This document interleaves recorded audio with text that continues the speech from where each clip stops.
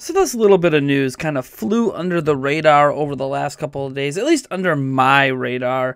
I'm sure some of you might have seen this story elsewhere, but it appears that EA might have already abandoned the Nintendo Switch after the release of FIFA 18. Uh, that might be a, a slight overreaction, but I'm not sure how else to take this. So, EA Chief Financial Officer Blake Jorgensen told the Wall Street Journal the publisher plans to wait until the console has been on the market a full year before deciding whether to make more games for it. According to Jorgensen, it's too early to judge the success of FIFA 18 on Nintendo Switch, which you, I mean, you might be able to take that as a positive. And then he says, as such, EA wants to fully understand what the demand is for the platform before committing more development resources to making new games for the platform. That to me sounds like it's EA saying we're done with the Switch uh, without saying they're done with the Switch. Uh, I don't know if we should really be all that surprised.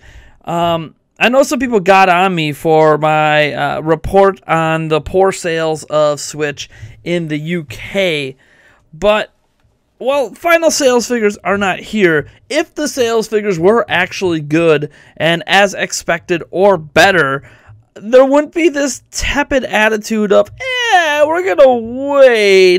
Basically, we want to wait a few months and see what happens with sales. See if they, they essentially are gonna say, look, Nintendo, we're gonna give you the holiday season. If FIFA 18 sells a crap load during the holiday season, we will commit more games.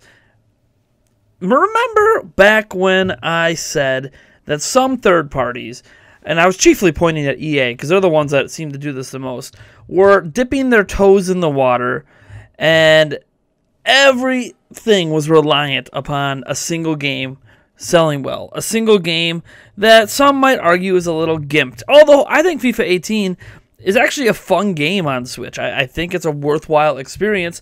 Is it as good as the full version of FIFA 18 on the other platforms? No, but it's good. I mean, I, I can't say they didn't at least give us a good playable version of FIFA. But it appears the sales must not be that impressive as is.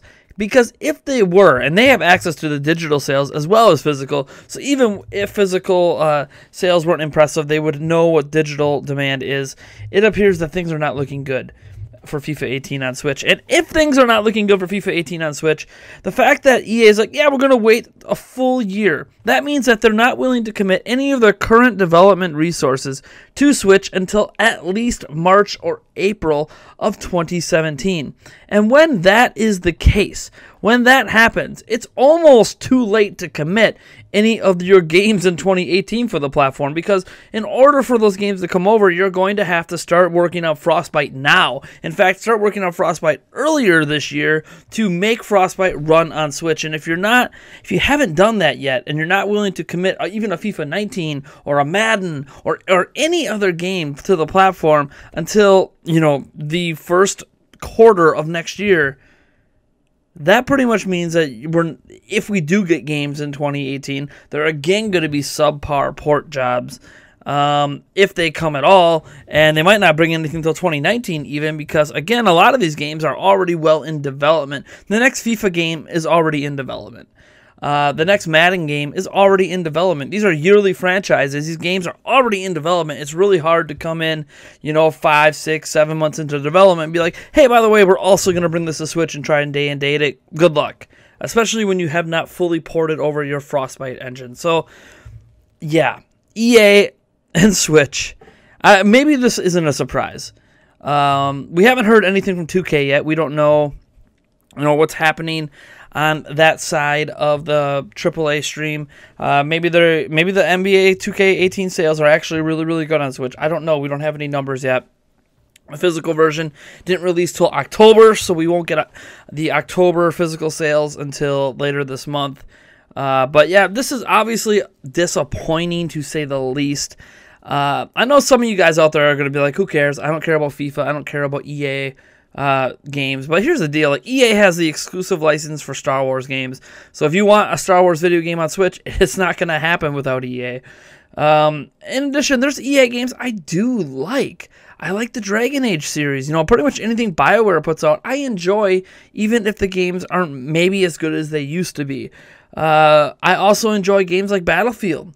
The you know the Battlefield World War One game is really really really good, and I would have loved to see even a late port of that on Switch.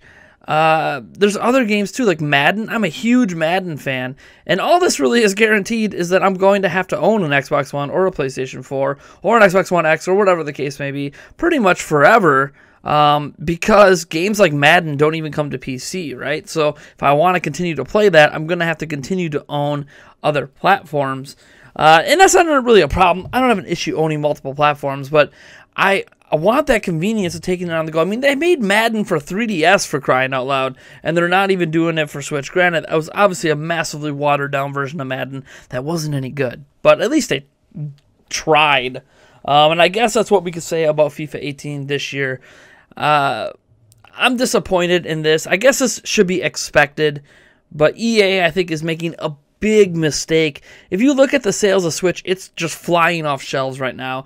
Uh, and it's not just Nintendo games that are selling well. We, we have this month coming up with a bunch of third party games right now. I mean, we're, we're giving away three of these third party games this month. And I have a feeling these third party games are going to sell very, very well heading into this holiday season. And if that's the case, EA is just going to miss the boat entirely. Ah, it's just, it's frustrating. It's really, really frustrating.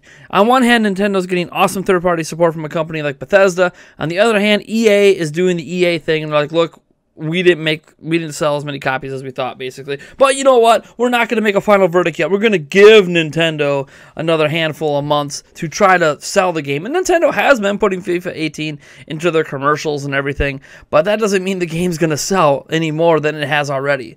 Uh, most people probably interested in fifa 18 on switch have already purchased fifa 18 on switch. So this this i don't know. You guys tell me what you think about these quotes down in the comments below. Uh, again i know i'm late on the boat on this and i do apologize for my late reaction but this just oh this irks me. Ea has essentially abandoned nintendo already at a time when switch is like the hottest thing on the market. Against all rhyme logic and reason without ever giving one game with 100% full effort to the platform they're gone just it, it just doesn't make sense to me. Anyways, folks, I am Nathaniel Rufflejets from Nintendo Prime, and I hope I'm wrong about all this. I hope that um, apparently FIFA 18 just sells really, really well during the holidays, and they fully commit next year. I just don't see it happening. Uh, I am, yeah. Thanks for joining the, this video. Like it if you like it, dislike it if you dislike it, and you know what, folks, I'm just gonna have to catch you in the next one. Really, EA? Man. Seriously?